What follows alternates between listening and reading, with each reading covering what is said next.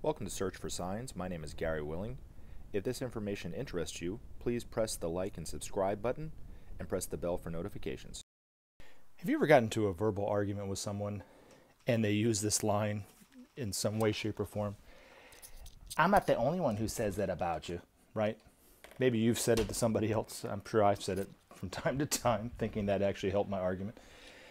And we we do it, I think, because culturally, we believe that if you know more than one person agree on something, then that makes it more true.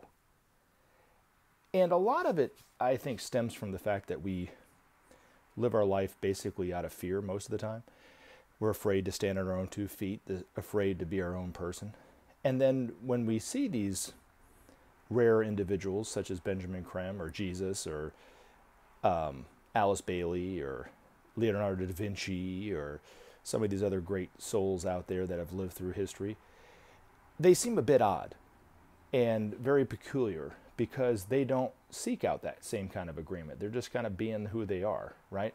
And anyone who has advanced humanity on whatever level they're at, however small their field of influence is, if they're doing what they're they're supposed to be doing, they will appear odd to other people. And the more they advance humanity, the more peculiar they are, you know, and the greater the resistance to their work is from the society as at large, right? I mean, just take Jesus. I mean, he advanced humanity better than pretty much anyone in history, right? And look at the resistance to his work. You know, I mean, obviously, what happened to him at the end. You know, I mean, it wasn't the end, but you know what I mean. Just the middle part of his story. But um, you know, and it's the same thing with these masters. And these masters don't seek agreement. You know, they don't look to you for approval on anything. And so they might come across being a, a bit odd, a bit peculiar. Maitreya, I know, has a certain je ne sais quoi quality about him, and by that I mean he, he embodies the the love aspect of God. So he might not be quite as peculiar to uh, the most people, you know. But I'm sure some of these masters who, you know, they all, you know, you know, they all have the Christ principle in their heart, but you know, they they might appear rather strange, you know, and their information might, you know, you might not be able to understand what they're talking about, right? like for instance, you know, I mean, I mean, you can talk about the Bible. You know, I mean, there's a lot of things in the Bible that, from the master's point of view, never happened that people base their whole life off of. You know, and it, when people start to come to the realization that what they believed isn't true, it might be hard for harder for some than others to let go of that. And it, it kind of has been like that over the last, you know, few hundred years. You know, now that science is becoming more mainstream, you know, it's proved a lot of theories about evolution or our physical bodies or something like that.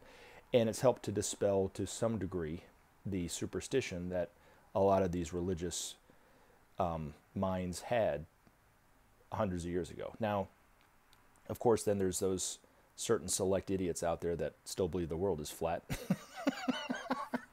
But you know, eh, contrary to all science and photographs, to the you know to the contrary, they still think the world is flat. But you can't help everybody, you know. I mean, so just let them believe whatever they want to believe. I guess I don't know.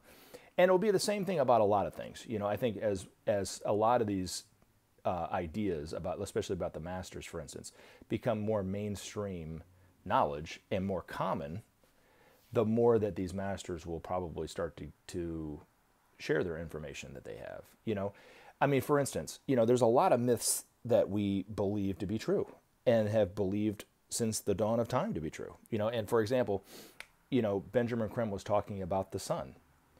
That even though scientists and astronomers and everybody would agree that the sun is hot, according to the Space Brothers, the sun is actually very cold.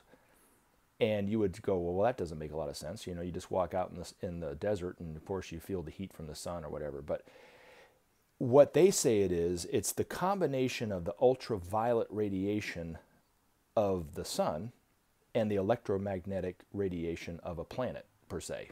And it's that I guess that's that friction between those two energies that generates the heat. And it kind of made sense when Ben said it. You know, he was like, well, if if the closer you get to the sun, obviously the hotter it's going to get, right? Well, then that would make the top of Mount Everest be the hottest part. It should be the hottest place on Earth, and it's one of the coldest because the electromagnetic radiation of the planet, I guess, isn't as strong up on there. You know, and that's what, you know. Anyway, you can believe what you want to believe, but you know the the the truth will come out about it eventually. And but it also stands to reason that you know, like with scientists, for instance, looking at our planet, right? They say that it's a precarious place that our planet is around the sun, and if it was any closer, it'd be too hot to have life. It was if it was just a little bit farther back, you know, it'd be too cold, right? It's just right where it is, and that's true to a degree, right?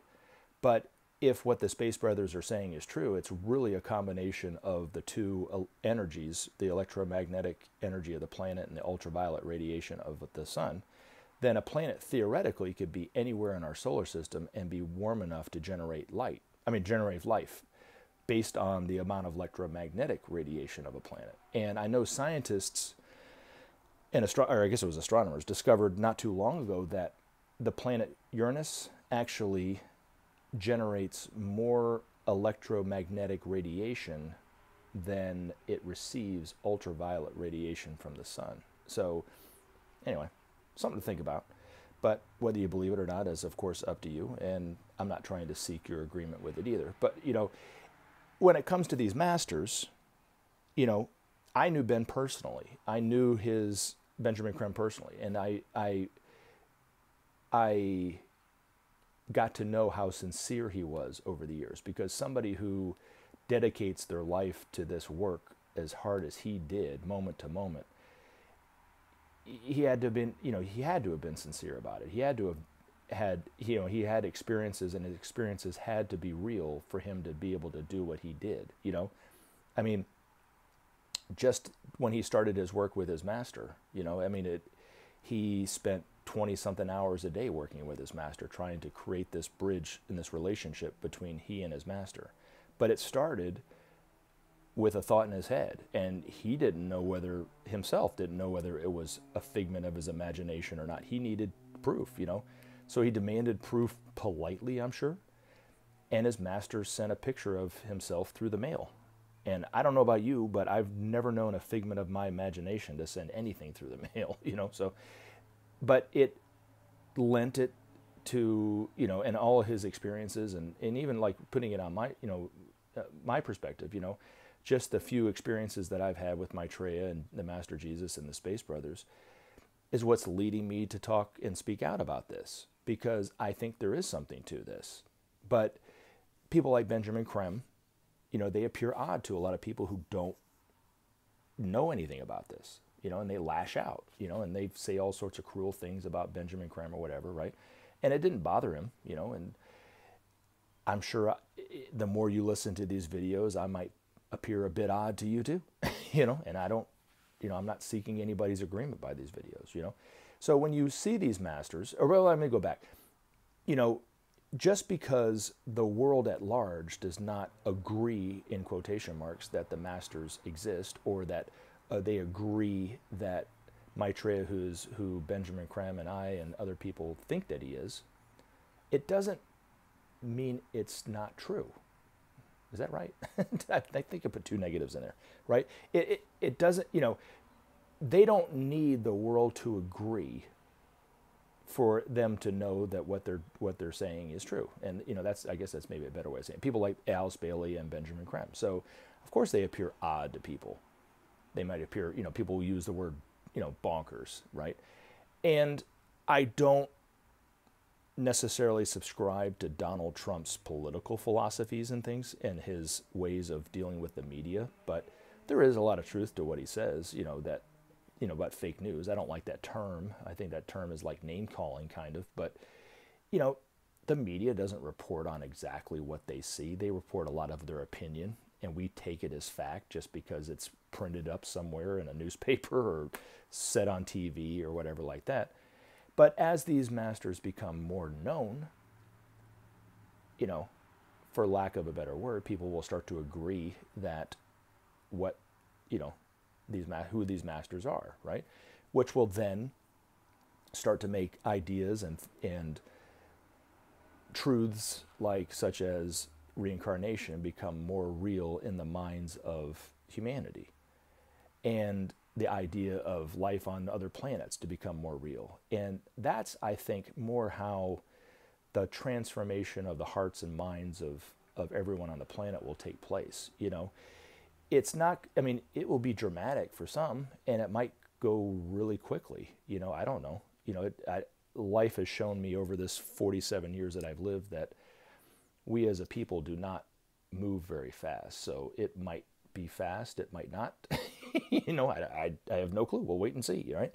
But being in the presence of these masters, receiving their information directly when we do, you know, whether it's on TV or in person or, you know, at a, you know, at an event or something like that where you might hear them speak to the public, you know, or whatever, or if you're lucky enough to, to, you know, to see them in a, in a room or I don't know, or, you know, they're not going to be at the mall, but you know what I mean? And you talk to them, then you know you you can't help but be changed by their wisdom because they these masters like a know nothing about nothing but love and b they have the the wisdom of the ages at their fingertips. But to a lot of people it will appear odd right? And the people who are helping these masters the disciples in the world that that will be helping these masters with their work and and so forth will appear strange you know just like benjamin creme right? But with a lot of these peculiar, odd folks that helped aid humanity, people thought they were wrong at the time, and history proved them right. Other ones were wrong, and they they there's we still think they're wrong. you know, I, I don't, I don't know what to say about it. You know, but you know it it'll be interesting to see the changes that happen in the world based on our the the more we start to kind of come together as a people the more we start to realize that, hey, you know what? There is life on other planets, and hey, there is life above the solid, liquid, and physical plane. And oh my gosh, there's there is there are beings that are here to help us that have know nothing but love and and they used to be just like us and I want to be more like them and stuff like that. And that's why I think it's going to whole start. But and as always, take action. Help SOP save our planet. Thanks for listening and we look forward to talking to you again in future videos. Have a great day.